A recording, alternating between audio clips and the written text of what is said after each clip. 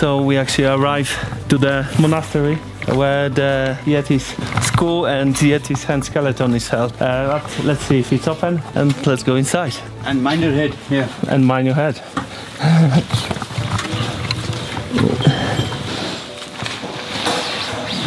okay, so we just saw hand skeleton and the skull of the uh, Yeti. The size of the skull, the size of the hand is similar to bigger size human, and the DNA match. I'm not 100% sure if this is the Yeti. So what's happened is that I couldn't record or take a photo of it um, because it's required permission and it would cost $500 just to take few photos and the video. Instead, I think guys I'm gonna just download that from the internet and I'm gonna show you that. I don't know where, but it was uh, taken outside the country for the research purpose. Oh, okay. For the DNA test, something like that. Okay, okay.